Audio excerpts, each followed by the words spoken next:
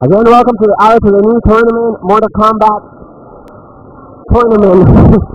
Here we have uh, AZ Lucky Zero versus Dekar. Dekar is a player that we haven't seen since Holy Gaming last year in June.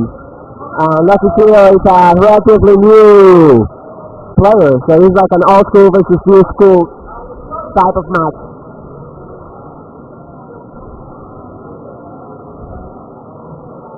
But the series been like a kind of like a surprise lately since he just came out of nowhere and been winning fourth and fifth place in the tournament and beating some of the top players in the team.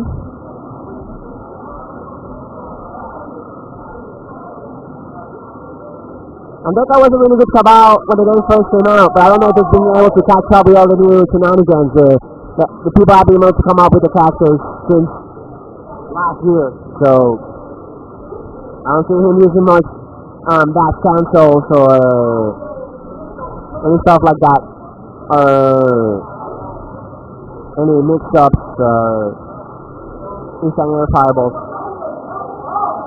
And they have a really mad Sonya. I'm giving Dekar any breaks.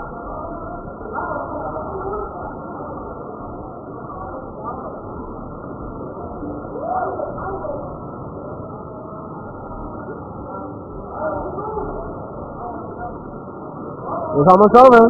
Blocked by Dekar. He says, not yet. Oh! Nice kick from AZ Lucky Shield. 1-0.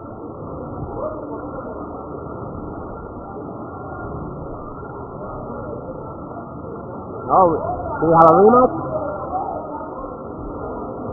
Because not gonna change faster or.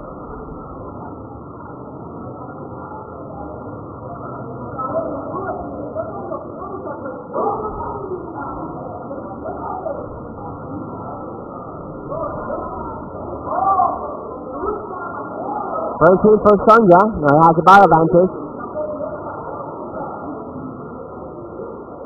Oh, so we have a BMB for Sonya Blade.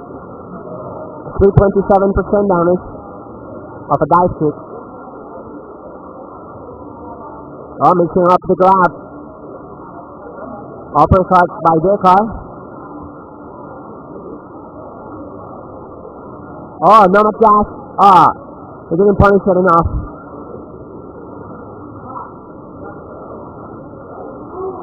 Another grab by Dekar. He puts his Sonya in the wall. But Sonya makes the most out of the invulnerability frame to wake up and the sky will come out face.